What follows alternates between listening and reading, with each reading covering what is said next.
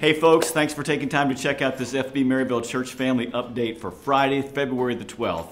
And hey, it's Valentine's weekend, and we're excited about Valentine's weekend because every Valentine's weekend uh, we talk about love, and we're going to be talking about love this weekend as well. Also, want to let you know that uh, there's a gift for you this weekend. If you're uh, coming as a couple and a married couple, or if you're just dating each other, we've got a gift for you this weekend, and I don't want you to miss out on that. So plan on being here this weekend for the services. And Valentine's Day is a special day because love is in the air.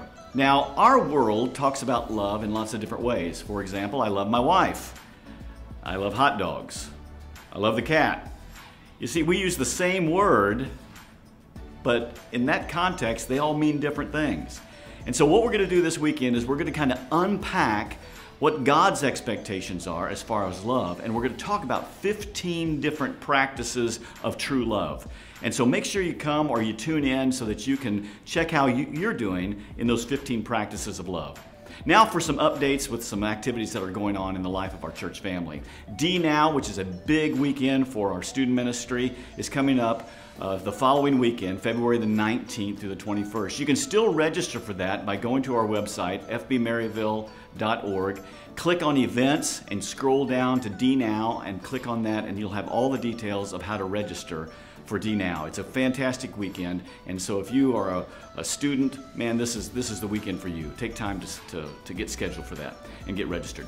The next thing I want to mention to you is our baby bottle campaign. Now, this campaign, as you know, we partner with Mosaic Crisis Pregnancy Center, and they do great work in really saving lives.